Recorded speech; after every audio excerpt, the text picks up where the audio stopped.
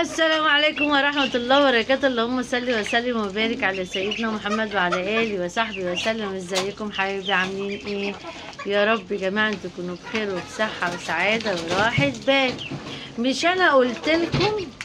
بس إيه قلت لكم على إيه؟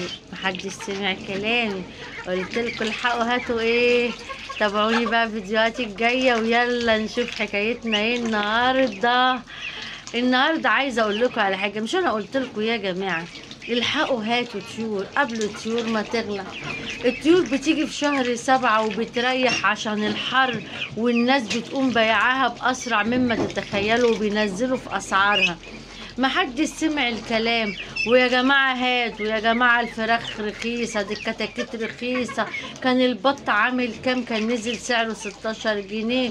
الشلوفان اللي أنا جايباه العسل ده وكان البط المولر نزل تسعة وعشرين جنيه وتلاتين جنيه والناس أساسا يا جماعة هاتوا ما فيش. كانت الكتاكيت البيضة كانت عاملة تسعتاشر جنيه وصلت سبعة وعشرين جنيه. مش أنا قلت لكم الحقوا هاتوا البط دلوقتي سعره غالي وده غالي وده غالي مش أنا قلت لكم الحقوا هاتوا ما حدش صدقني ولا حد سمع كلامي. راجعوا فيديوهاتي كده. أما قلت لكم البط رخص يا جدعان الحقوا هاتوا. ما حدش جه ولا حد سمع الكلام. فيها إيه لما كنت تجيبي شوية كده؟ مش هقعد أنبك بقى. بس عايزة أقول لك على حاجة بقى. اسمعي كلامي دلوقتي دلوقتي أهو. إن الأيام الجاية برضه هيرتفع سعر الطيور. ليه بقى يا عسل؟ الجو لما بيهدى يعني بص دلوقتي إحنا قاعدين إيه كنت قاعد أقول لكم الحر الحر جامد جامد جامد. آه دلوقتي في حر بس الحر مش اللي هو كان الأيام اللي فاتت. الأيام اللي فاتت كان الحر صعب جدا. دلوقتي تحسي برضو إن الجو ملطف يعني إيه آه متحملة. يعني أنا دلوقتي على السطح متحملة. الأول كنت أطلع في الميعاد ده يا نهار أبيض. يعني مش عارفة تقعدي. فعايزة أقول لك إن كل ما الجو هيهدى كل ما الدنيا درجة الحرارة تقل شوية كل ما هتلاقي الأسعار بترتفع. ليه بقى؟ عشان الطيور كمان بتبقى أحلى في تربيتها والحر هو اللي بيتعب الطيور أكتر جيب لهم احتباس حراري. آه الحاجات دي مزعجة جدا للطيور. أما بقى الجو لما بيلطف في تربية الشتاء بقى وأحلى تربية يا معلم.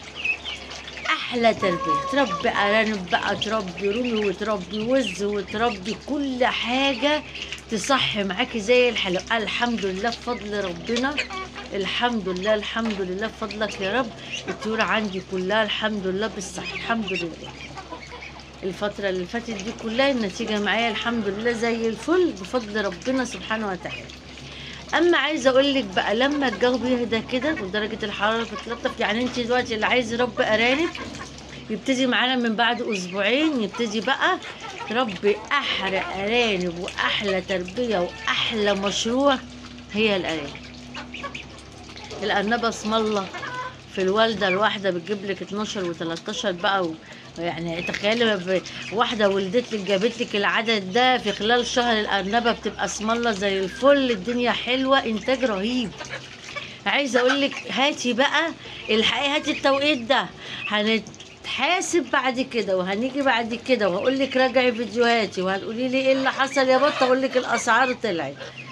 ليه؟ لأن طالما درجة الحرارة هتهدى الأسعار بتبقى حلوة والمزارع حتى لو ما باعتش دلوقتي وكبرت هتبيع ما بيحصلهاش حاجة عندها. لكن المزارع بتخلص أول بأول عشان درجة الحرارة والنور بيقطع والتكييفات بتوقف فبيضطروا إن هم يخلصوا بأقل سعر. لكن دلوقتي يخلصوا ليه؟ حتى النور لو قطع. درجة الحرارة ما هيش الجامدة قوي اللي الطير ما يتحملش فيها. فعايزة أقول لكم بقى دي نصيحة مني لوجه الله. آه الناس مش بتسمع كلامي مش عارفة ليه بس عايزة أقول لكم اسمعوا كلامي المرة دي وانتوا أكبر من ان أنا أنصحكم. آه التربية الأيام الجاية بإذن الله بإذنك يا رب ربنا يديكم العمر والصحة والرزق. حلوة جدا. آه بتربي يا جماعة بأقل تكلفة مع بطة. والله والله والله بأقل تكلفة. طيور اسم الله الله أكبر سواء فراخ كتاكيت كل ولا علف ولا حاجة. تابعوا فيديوهاتي. أنا الحمد لله بفضل ربنا بعد تجارب كتيرة أكتر من 15 سنة في التربية. استنتجت حاجات كتيرة بقيت أجربها على طول وخدت نتيجة بفضل الله سبحانه وتعالى زي الفل.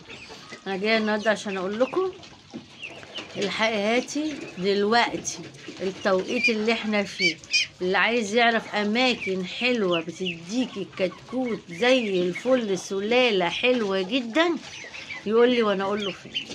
أتمنى بقى إن أنتوا يا جماعة تكونوا بخير وبصحة وسعادة وراحة بال. وتابعوني يا أمارات في الفيديوهات الجاية إن شاء الله. وعندنا مفاجآت إن شاء الله في التربية وحاجات مهمة قوي اكتشفتها بتجيب نتيجة فعالة كمان أكتر وأكتر. مش هبخل عليكم بحاجة وأقول لكم في الفيديوهات الجاية. وأسيبكم بقى في رعاية الله وامنه والسلام عليكم ورحمة الله وبركاته.